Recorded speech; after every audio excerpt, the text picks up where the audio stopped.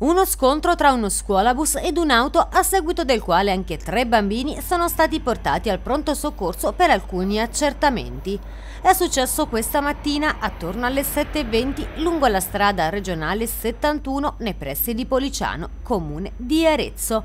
Nell'incidente è rimasto ferito il conducente dell'auto, un uomo di 65 anni, trasportato all'ospedale San Donato in codice 2, non è in pericolo di vita. Sono stati invece accompagnati per contusioni e lievi ferite al pronto soccorso di Arezzo anche tre dei sei bambini che si trovavano a bordo dello scuolabus.